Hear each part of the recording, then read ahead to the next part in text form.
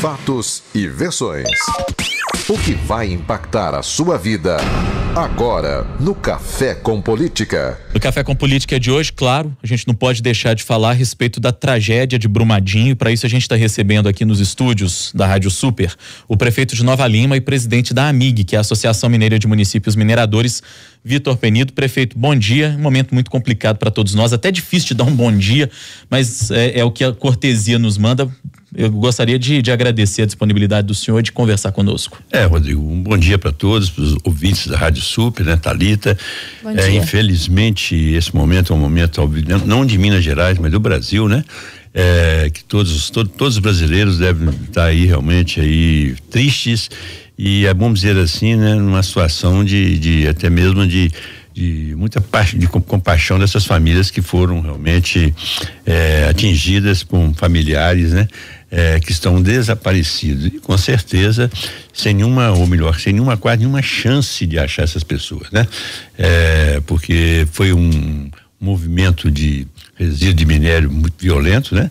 Embora bastante inferior ao que aconteceu em Mariana, mas que não dá, mesmo com todo esse apoio da, dos bombeiros, da polícia militar, essa missão que veio de Israel também, eu nesse momento acho muito difícil você já encontrar corpos, né? É, porque tem, tem, tem chegou ao, ao, ponto de até ter 10, 15 metros, né? De, de, de aterro e de minério, né? E que acaba não tendo como, como, como localizar isso, né?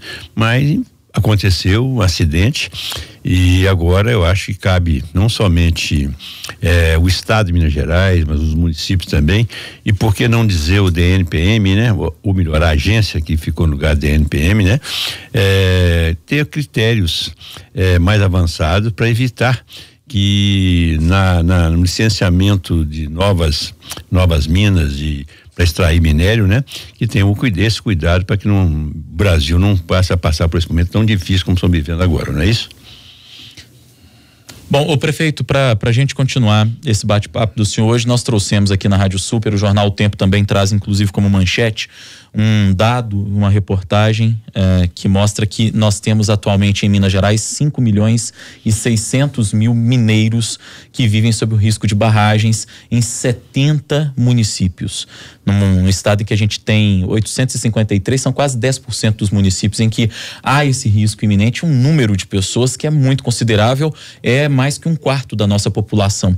Enquanto presidente da Associação Mineira de, de Municípios Mineradores, como é que o senhor recebe esses dados? É, nós sabemos que nosso estado já tem o um número de Minas Gerais, justamente em razão da, do minério que existe aqui, não é isso? É, Minas dificilmente estaria no ponto que está hoje, embora um país, um estado totalmente falido, mas é, esse passado aí, o desenvolvimento das cidades mineradoras foi justamente em razão da mineração, né? É, tanto Brumadinho como Nova Lima, como Santa Bárbara, como Mariana, como Ouro Preto, como Itabiri, todas as cidades, se não tivesse as empresas mineradoras, é, com certeza é, não estaríamos aí oferecendo o que se oferece hoje. Claro que nós não podemos olhar o lado aí, só o lado aí de, de recursos, de, de, vamos dizer, de impostos. Tem que olhar que é muito importante essa parte da, da, da vamos dizer assim, de, de evitar esses riscos que, que já aconteceram dois, dois, não três ou quatro casos aí e um, num trabalho em conjunto com tanto com o Estado como a União, não é isso? É evitar isso. Agora, o maior problema nosso do Brasil não é o problema da que agora foi está sendo superado foi justamente essas indicações políticas em órgãos de uma importância muito grande, muito grande, como era o DNPM, tá certo? É, que aca acabava sendo trazendo esse transtorno. Por quê? Essas pessoas, a maioria de pessoas totalmente desqualificadas, tá certo? Mas por indicação de partidos políticos, né? Que são os grandes responsáveis por isso, não é isso? Então, olha só esse caso, por exemplo, quem, quem faz a, a, vamos dizer assim, a, quem libera a, essa, essa licença, o licenciamento é o Estado, mas quem fiscaliza é o governo federal não é isso? Não é esse governo que entrou tem vinte e poucos dias, não. Isso é o passado, vamos dizer assim, né? E nisso aí, o que que acontece?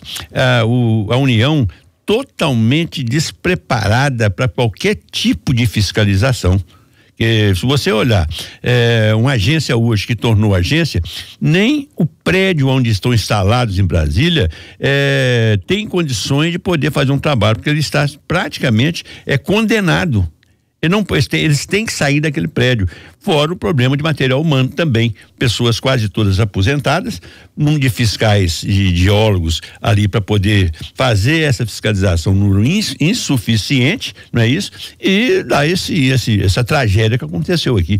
Então é uma falha que vem de governos, governo não esse governo agora, que tem vinte e poucos dias que entrou, não é isso? Tem certeza que mais um pouco de mais um tempo ele vai conseguir é, equipar, dar condições para aquelas pessoas que vão trabalhar ali, ou que estão trabalhando, né? Poder trabalhar, é poder fazer uma fiscalização digna e sem correr nenhum risco. Agora, o Brasil vem aí de muitos anos é, sendo tocado de uma forma irresponsável, nós podemos dizer assim. Isso não é hoje, não. Nós temos mais de 20 anos que as coisas, eu falo isso que eu tenho, nossa associação, ela tem quase 30 anos de existência e lá atrás, quando nós fundamos essa associação, tá certo? Nós já sabíamos, essas dificuldades com pessoas, às vezes que sem nenhum preparo, sem nenhum conhecimento, pessoas que não entendem nada, nada, nada de geologia e que acaba, acabou dando esse transtorno todo. Então, um, assunto que vem de lá de trás. Agora, daqui para frente não é possível que eu tenho certeza que não vai acabou a tal de indicação política, que é o, o mal do Brasil era justamente esse,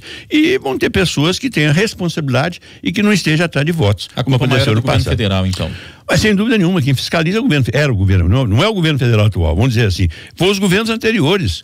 Você olha quem indicava é, o, o, diretor do, naquela época do NPM, quem indicava o diretor da, da dessa agência, dessa filial em, em Minas Gerais, não é isso? Olha as pessoas que estavam na frente. A maioria delas política que não entendia, nem sabia, nem sabe o que é mineração. Essa que é a verdade. Então, na opinião do senhor, os interesses políticos dessas indicações seriam responsáveis por essas tragédias e Brumadinho agora? Sem dúvida nenhuma. É isso aí, sem dúvida nenhuma.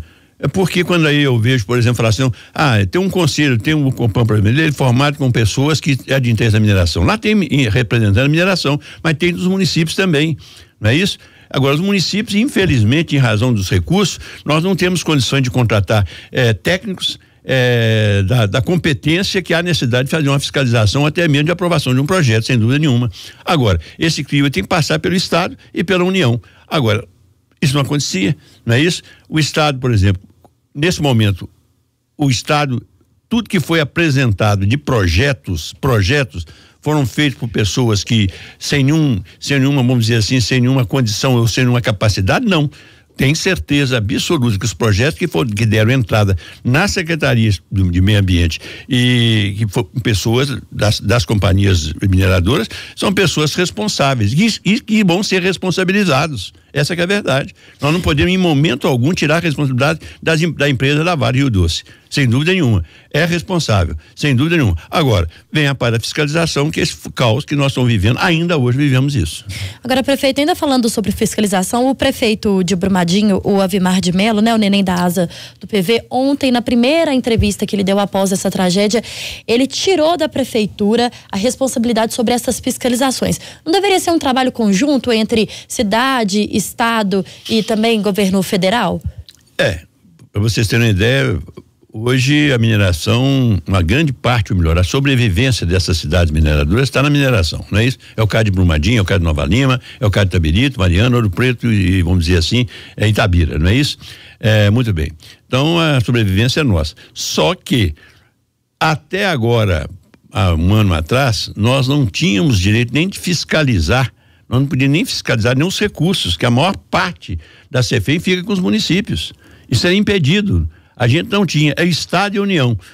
o Estado cruzava os braços e a União também, sem nenhum pessoal é, capacitado para poder fazer isso, ou um número muito reduzido, eu posso falar isso, não é isso? Então o município não tem, não tinha essa condição porque não, não tinha entrada para poder participar disso.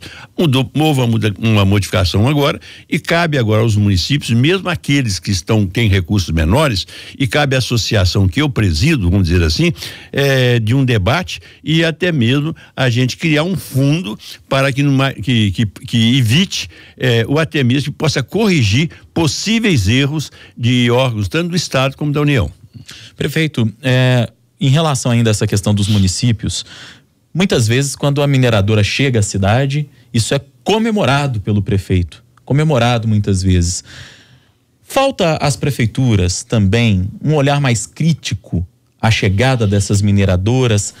Falta às prefeituras observar, por exemplo, onde essas barragens estão sendo construídas, embora essa não seja necessariamente uma atribuição da prefeitura, uma responsabilidade da prefeitura.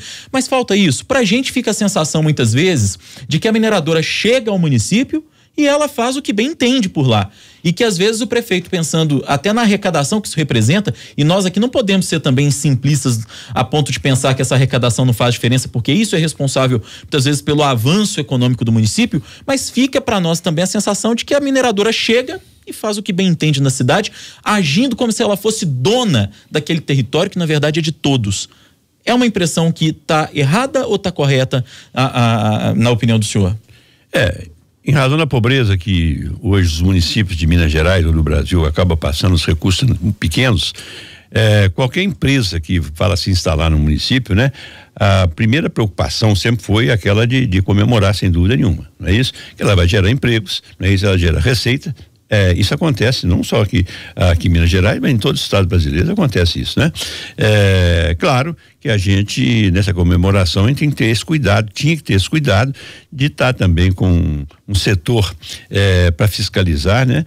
Como acabei de falar aqui agora, de pessoas é, gabaritadas para poder é, acompanhar essas, é, vamos dizer assim, essas autorizações que vêm do governo do estado, não é isso? Agora, o maior responsável por isso, sem dúvida nenhuma, começa na União, depois da União vem para o Estado, não é isso? O Estado faz análise e quando chega no município, pelo o, o, o fato do prefeito estar tá sabendo já foi aprovado pelo Estado e pelo, pela União, já está certo, ele fica numa situação praticamente impedida. Não dá nem para botar a boca no trombone, prefeito, reclamar, vir para a imprensa, a gente tem sempre espaço aberto para isso em todos os veículos de comunicação.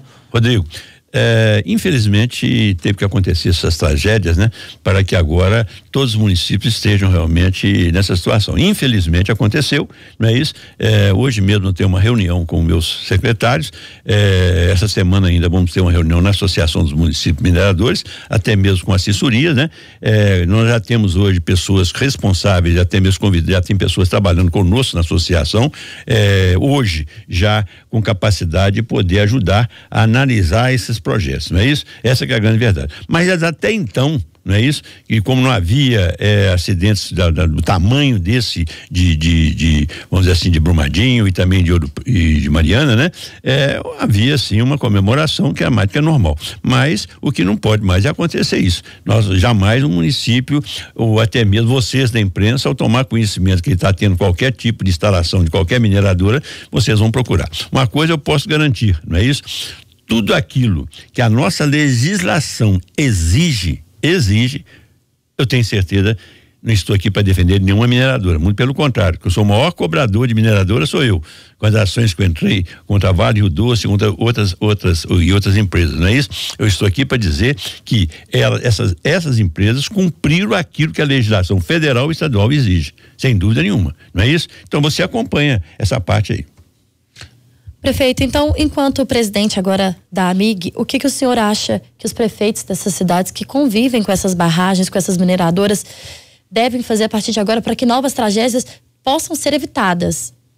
É, eu acabei de dizer aqui justamente isso. Primeiro, tem certeza absoluta, embora já existe isso, né? Já existe é, essa, essa já vinha existindo depois da, de Mariana, já é uma preocupação. Não tem nenhum licenciamento posterior aí, vamos dizer assim, de nenhuma mineração até agora, depois do, do, do, do ocorrido é, com Mariana. Porque acredito eu que, pelas informações que eu tenho, tem praticamente 10 anos, 10 anos que não tem nenhuma mineração que se instalou no nosso estado ou qualquer parte do, do país é, nesses últimos 10 anos, sem dúvida nenhuma. Então, com isso, o que que acontece? Daqui para frente, é, não somente, vamos dizer assim, é, o Estado, como também os poderes, o poder legislativo, que, como eu acabei de dizer aqui, tem essa responsabilidade na indicação dos seus membros para fazer parte desses conselhos, não é isso? O município praticamente ele é, ele é, ele é esquecido. Para vocês terem uma ideia, na discussão agora desse marco regulatório, é, as, os municípios não foram ouvidos, vamos dizer assim, foi, um, foi uma medida provisória que foi saiu do ministério. Se não é uma briga nossa, nós estaríamos ainda hoje com 2% de alíquota sobre minério e nós conseguimos uma vitória de 3,5. Não é isso? Da mesma forma também, nem o próprio departamento foi ouvido a respeito dessa discussão do marco regulatório, vocês terem ideia. Então, daqui para frente, sem dúvida nenhuma, eu acho que é obrigação, obrigação de os municípios estarem preparados, usar mais a associação dos municípios mineradores, participar das nossas reuniões, não é isso como a gente tem feito, é, de simpósios, essas coisas todas, para poder trabalhar e ajudar e evitar. Eu tenho certeza que, em razão desse desastre que aconteceu, é, não não nas atuais, é né? claro que vão, vai ter uma fiscalização constante aí nessas barragens que estão aí é, em funcionamento, né? Mas daqui para frente, com sem dúvida nenhuma, acho que é obrigação e vai, vai acontecer isso. Prefeito, Isso. em relação especificamente à situação do seu município, que é Nova Lima, uma cidade também que a atividade mineradora historicamente é, garantiu o sustento da cidade. Eu queria perguntar para o senhor como é que está a situação das barragens que existem por lá. A gente até recebeu uma informação aqui agora há pouco de que parece que pode ter duas, duas barragens lá que, que estariam em risco. O senhor confirma essa informação ou pergunto para o senhor, a situação por lá está, pelo menos por hora, tranquila? Vou falar que por hora é tranquilo, que um, um, acidente, um desastre, ele acontece às vezes até mesmo, né? Tem vários fatores que podem levar a isso, não é isso? A gente sabe perfeitamente disso. É, no caso de Mariana mesmo, houve até mesmo é, um início, uma, uma, notícia que teria sido provocada ali por aquela barragem foi por um temor de terra, não é isso? Então você não pode evitar, pensando da natureza. O que eu posso garantir é o seguinte: tanto a Vale Rio Doce quanto a, a Anglo Gold, é, tem aí feito, é, vamos dizer assim, monitorado é, essas barragens, né? E o município, a partir de agora, vamos montar realmente uma, uma equipe para estar junto e até mesmo olhando toda a documentação e todas essas licenças e essa, vamos dizer assim, esse supervisionamento é, é, da, da, da, da, da situação de cada uma. A partir da tragédia de Mariana, Nova Lima, por exemplo, ainda não tinha montado uma equipe para isso. Não pelo fato da gente ter é, esses dados, tanto do governo do estado, como do, do próprio, da, das próprias empresas, que são as grandes responsáveis, né? Que em momento algum, né? E praticamente, vamos dizer assim, então, a Anglo, por exemplo, ela está com, com, com suas. Tem uma exploração em Nova Lima, né? Não explora minério em Nova Lima mais. Há muitos anos que não faz isso, né? Então são coisas já de mais de 10, 15 anos atrás, sem dúvida nenhuma. E da Vale Rio Doce, as que nós temos aí estão é, realmente funcionando, mas todas elas é sendo é, é, é, visitadas constantemente pelos órgãos do Estado e do, da própria empresa, que é a grande responsável por isso. Mas a partir de agora, cabe a nós né, tomarmos essas medidas também para poder evitar. E contratar pessoas altamente qualificadas. Não adianta colocar um engenheiro que não seja um geólogo, que não tenha conhecimento nenhum, vai passar só olhar e voltar. Né? Esse é um grande problema que tem. E a gente vê muita gente fazendo dando palpite sem nenhum conhecimento, não é isso? Falando coisas que não, não tem fundamento nenhum. Muito se, se discute, prefeito, em, em, relação a esse modelo de mineração, especificamente do minério de ferro, que é esse formato da barragem de rejeitos, né? Que mais uma vez se rompeu agora na cidade de Brumadinho, lembrando da tragédia anterior lá de Mariana. Uh, na opinião do senhor, uh, falta as mineradoras investir em pesquisa de fato? A gente trouxe hoje um dado sobre o lucro só do primeiro trimestre da Vale no ano passado, que foi de mais de 11 bilhões de reais. Falta a essas mineradoras que tanto lucram às custas da riqueza mineral do nosso estado e dos nossos municípios pesquisar, trabalhar efetivamente em alternativas que não essa barragem de rejeitos que está se tornando essa bomba relógio na cabeça, literalmente, de muitos de nós aqui no estado? Pelo que nós sabemos, já existe hoje, não aqui em Minas Gerais, mas no Pará, a própria Vale Rio Doce já tem um outro sistema, né? Uma tecnologia a seco, né? A seco, justamente. E que pelo que eu estou sabendo também, é que Minas Gerais eles já estavam trabalhando, estão trabalhando também para poder fazer isso. Mas a preocupação nossa é com as barragens já existentes, não é isso? E vamos dizer assim, essa essa essa barragem que, que houve somente esse rompimento, ela essa, esse licenciamento que está sendo aí falado a respeito do Estado, era justamente para tirar esse rejeito e ser aproveitado em outras coisas. Então estava tendo uma autorização, embora não tenha iniciado, já justamente para poder fazer isso, tá certo? De esvaziar aquele, aquela barragem com o aproveitamento desse material, não somente parte dele ser transformado também em minério de ferro e outra parte para outras atividades. Prefeito, em relação ainda à tragédia, a forma como ela aconteceu, não seria viável que as prefeituras, onde, né, essa, dessas cidades onde existam, é, onde existe essas, essas barragens, criassem planos de segurança com sirenes. Ontem a gente viu que existia a possibilidade de uma nova barragem se romper em Brumadinho e às cinco e meia da manhã a sirene foi tocada, houve movimentação, enfim. Mas isso não poderia ter evitado essa tragédia que foi tão grande lá em Brumadinho se tivesse tido esse plano antes, talvez para os moradores. É, em Nova Lima, a já instalou ou está instalando já antes desse acontecimento, né? Já uns dias atrás mesmo, eu, na localidade de São Sebastião de Águas Claras, já havia assim, uma preocupação muito grande daqueles moradores, porque estavam lá funcionários da Vale rodando ah, o povoado eh, para instalação dessas, sirenes. Então, a Vale já estava fazendo isso, vamos dizer assim, eh, eh, em alguns pontos que poderiam ser afetados por qualquer acidente fosse o caso. Né? Então, já existe essa preocupação e aumenta mais ainda da nossa parte prefeito de verificar se esses pontos são aqueles que são necessários para isso mesmo. E ontem, por exemplo, essa, essa parte aí da, ter essa, essa falha dessa, eu não tenho contato com nenhum diretor da, da Vale, mas eu tenho certeza que é, da forma que aconteceu, né? Eu tenho certeza que foi atingida a, a, parte central aonde poderia comunicar com a população do, do desse desse acidente que aconteceu lá, né? E com certeza a Vale deveria ter, sim, como aconteceu depois, né? na noite de, de, de sábado para domingo, ela foi acionada, né? sem dúvida nenhuma. Então ali foi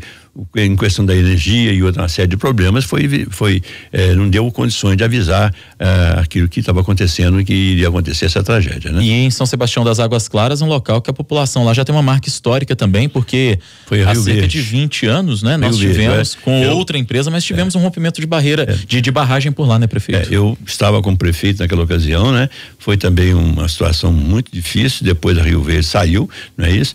É, a Vale acabou adquirindo justamente aquele a empresa e até hoje já tem ainda algumas algum, alguns danos ainda na região ainda principalmente na parte aí parte ambiental. O prefeito, enquanto presidente da Associação Mineira dos Municípios Mineradores, o senhor já foi procurado por essa nova gestão do governo de Minas, por representantes do DNPM, que é o Departamento Nacional eh, que cuida justamente dessa questão eh, da produção mineral no Brasil. O senhor já foi procurado para ser ouvido, para ser eh, para dar a sua opinião, as suas impressões. O senhor é um prefeito experiente, o senhor está já no quarto mandato, se não me engano, né? Sexto. Sexto mandato à frente da Prefeitura de Nova Lima.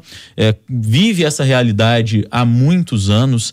O senhor já foi procurado por, por, por, pelo novo governo de Minas e também pelo novo governo federal? A associação teve oportunidade justamente com a região, com a associação da região metropolitana, a Grambel, tanto a Grambel como a MIG, de antes da posse do, do, do Romeu Zema, do governador, né, de fazer uma visita. E nessa visita nós passamos algumas informações que o próprio governador não tinha conhecimento, até da arrecadação, não é isso? é, da receita do, do, dos municípios e do Estado, que o Estado também é parte interessada. E sabe perfeitamente que nesses 26 dias de, de governo, né, vamos dizer assim, é, não teve, eles não tiveram tempo. O governo federal nós deixamos já praticamente já não não estava na pauta o problema desse rompimento dessa barragem ou das barragens, não é isso? Mas já está marcado para agora, dia 6, me parece, uma ida a Brasília, onde nós vamos estar aí provavelmente com o ministro de Minas de Energia e todos esses assuntos vão ser levados, não somente dessa da, da, da insegurança, como também a respeito de dívidas que a Vale tem com os municípios, que está sendo levantada, não é isso? E uma forma de cobrança. E mais ainda, né? É, a respeito de dar condições para que a, a, agência de mineração tenha condições de fazer um trabalho sério, coisa que não tinha nos governos anteriores, sem dúvida nenhuma. É, contratando pessoal altamente qualificado, como está acontecendo, não é isso? E dar condições para essa fiscalização. Para vocês terem uma ideia, Minas Gerais, quantos fiscais tem para poder olhar Minas Gerais? Quantos? E parece que são quatro quatro fiscais para o estado todo. Quantas mineradoras nós temos, quantas minas nós temos em Minas Gerais? Só barragens são 400. São 400. Então, uma falta de respeito, infelizmente. Isso é o governo federal. Mas por que que não consegue? Porque é um quadro inchado, aonde é praticamente um número de apadrinhados que para não fazer nada nos governos é muito grande, não é isso? E acaba tirando condições até mesmo da contratação de pessoas para poder fazer esse trabalho. Prefeito Vitor Penido tem um seguidor nosso aqui na nossa live no Facebook do jornal Tempo, Adriano Faria, que está dizendo aqui que tomara que o senhor consiga evitar junto aos órgãos públicos uh, para que isso não aconteça em Nova Lima, essa situação de rompimento de barragem. Então, quero registrar aqui a opinião dele né? E a torcida dele, enquanto cidadão, ao que parece um cidadão novalimense, para que isso não ocorra lá no município do senhor. Para a gente encerrar, prefeito, no começo da entrevista aqui, o senhor é, classificou esse, essa tragédia, esse acontecimento lá de Brumadinho como um acidente. Aí eu retomo isso e pergunto para o senhor, na opinião do senhor, o que houve em Brumadinho, o que houve em Mariana, esses sucessivos problemas que nós estamos vivendo em Minas, isso é acidente ou é crime ambiental? ou um crime contra a vida, em última instância, inclusive, até pelo número de mortos que se anuncia em Brumadinho. A gente sabe perfeitamente que toda, todos os setores que exigem o ser humano, a mão do ser humano, você sabe que nós somos falíveis de erros, não é isso? Acontece, nós erramos, né? É, com certeza, nos cálculos é, de pessoas é, altamente qualificadas, né? pode, pode ter tido né, alguns equívocos e acabou provocando isso, sem dúvida nenhuma. Agora, por exemplo, essa, essa de Brumadinho está numa fase ainda de investigações, não está certo? Para saber aonde que estava o erro. É muito difícil você imaginar o seguinte: debaixo dessa, dessas barragens estava ali os, o escritório, é, o refeitório, vamos dizer assim, onde estava ali aquelas pessoas que eram responsáveis até mesmo pela, pela fiscalização daquelas barragens. Imagina, mas eles tinham todo esse, todos esses projetos na mão. Você acha que eles iriam é, sabendo de algum risco que eles iam ficar ali, jamais. Eles teriam, já teriam chamado e não estariam ali, não é isso? Então é, é um assunto que de, exige né, é, essa investigação. É, a, a Vale do Doce, sem dúvida nenhuma, ela, ela é responsável. Eu tenho certeza absoluta que ela tem que ela vai arcar com todos esses prejuízos, embora vida humana não se recupera, é isso? Mas aquilo que está aí de estrago que foi que aconteceu tanto em Mariana como eh, em Brumadinho, ela tem obrigação e os nossos, tanto o Poder Judiciário, como os órgãos ambientais, como os governos, tanto o governo federal e estadual, de cobrar isso. E eu tenho certeza que eles vão arcar com isso, como você acabou de falar. Uma empresa que tem um lucro astronômico, vamos dizer assim, ela tem que ter um fundo para poder cobrir possíveis danos, como é o caso que aconteceu tanto em Brumadinho como na, na, na no caso de Mariana. Quanto a Nova Lima, eu agradeço essa, essa, esse, esse ouvinte da, da Rádio Super, né? E posso dizer o seguinte, que não vai, não, olha, não tem faltado da nossa parte é, o amor pelo que eu tenho pela cidade minha, que eu nasci foi nela, tanto que eu sou prefeito pela sexta vez, né? É, de tudo aquilo que possa trazer algum risco eu estar realmente na frente e procurando corrigir e até mesmo cobrar, que essa é uma obrigação minha. Eu não sou prefeito é, para mim ter título de prefeito. Eu sou prefeito, estou como prefeito pela sexta vez, pelo amor que eu tenho por Nova Lima, que senão uma pessoa com 76 anos de idade não estaria disputando um sexto mandato. E eu entrei com uma intenção, com um objetivo, justamente de tirar aquelas pessoas que estragaram, acabaram, que arrasaram a cidade de Nova Lima. Des, Nova Lima foi destruída. Graças a Deus não foi pela mineração, mas foi por mãos humanas de pessoas totalmente despreparadas, irresponsáveis e todo o dinheiro que as empresas mineradoras julgaram dentro da cidade não foi revertido em favor da pobreza ou das pessoas mais simples, mais humildes. E graças a Deus, Nova Lima hoje, ela está realmente em dia com todos os seus compromissos, embora pegamos uma, situação,